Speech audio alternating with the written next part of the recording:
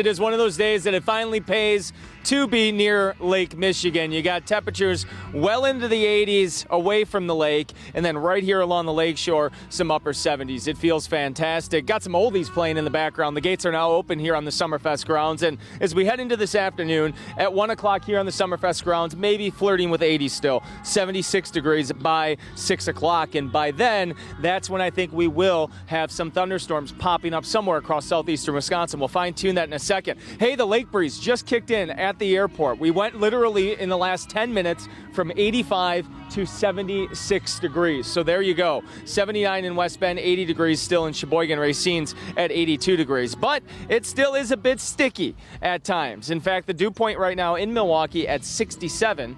Racine at 66. So if you're heading to the Summerfest grounds or if you're going to be out and about, a lot going on, across the city of Milwaukee and southeastern Wisconsin this afternoon. Make sure you slab on that sunscreen. UV index at an 8, but with full blown sunshine right now, we could actually be higher than that. So, again, these are some potent rays this time of year.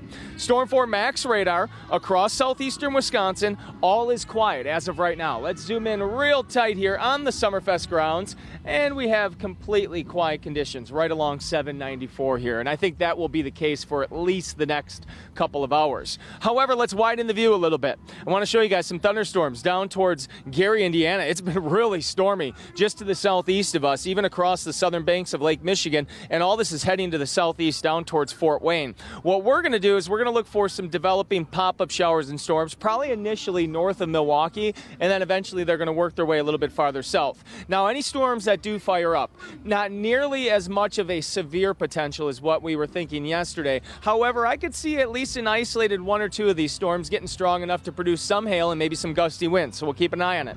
4:30 this afternoon. Not much. Couple little spotty showers popping up here, especially north of Milwaukee. Now watch what happens though by the 7, 8, 9 o'clock hour. A much better chance of thunderstorms. So really, here's how it kind of times out. Maybe 4 o'clock, a big maybe on a shower or storm. Storms become a bit more likely by 7, 8, 9 o'clock, and then I think by midnight we're completely in the clear. You can see how we clear out completely by 2 a.m. and then look at the sunshine sunshine as we head into tomorrow. Not much happening during the day tomorrow, all the way through the day, and I really think we start off Sunday dry as well. Sunday starts sunny, and then we could see some more thunderstorms roll in here by Sunday afternoon. All right, your forecast weather headlines cooler but still humid today. More storms possible this afternoon, and a nice looking weekend overall. Let's go through your forecast for today.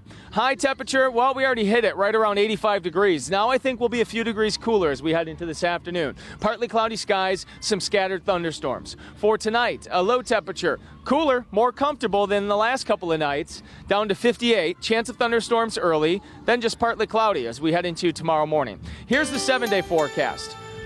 Late today, thunderstorms. Mostly sunny on Saturday, 78. How does that look? That looks really nice. 84 on Sunday, late Sunday, a chance of thunderstorms. Monday looks like thunderstorms pretty likely. And then as we head into Tuesday next week, looks like another dry stretch of weather here on Tuesday. We'll have partly cloudy skies, 81 degrees. Another chance of thunderstorms on Wednesday with a high temperature of 82 and Thursday, 82 degrees. Got the oldies playing on the U.S. Cellular uh, stage here on Summerfest. We're just getting going here couple more days left of Summerfest, and at least for now, today's a good one. Things could change later on this afternoon, Vince and Elise. All right, thanks, Brian. We'll let you go rock out for a bit. We'll check back with you later.